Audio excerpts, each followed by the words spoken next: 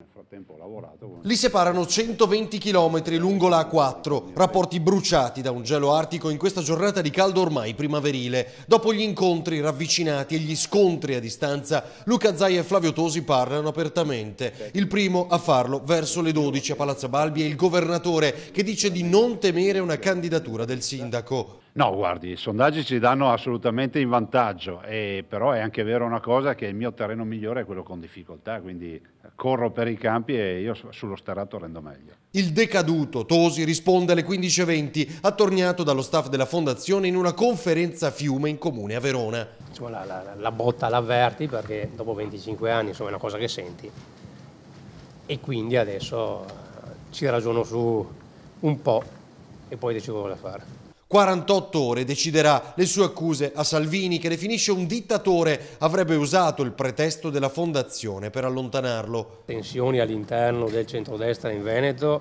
favoriscono ovviamente il centrosinistra, ma la responsabilità va a chi ha determinato questa rottura, a chi ha voluto questa rottura. Penso che poi forse alla fine abbia, davanti alla decisione abbia scelto di lasciare la Lega e scegliere la sua fondazione. Le strade dei due ormai si dividono, contrario ai repulisti, dice Zaia. La Lega resta Lega e saranno certi militanti in caso a chiamarsi fuori. Emergono dettagli sulle ultime trattative. Tosi chiedeva addirittura la cancellazione della lista Zaia, pretesa eccessiva, più un tentativo di farsi cacciare. Io dico che oggi bisogna girare pagina, pancia a terra e lavorare, perché la gente da noi vuole vedere problemi risolti, vuole sentire parlare di lavoro, di sanità, di sociale, di economia e non di beghe di partito.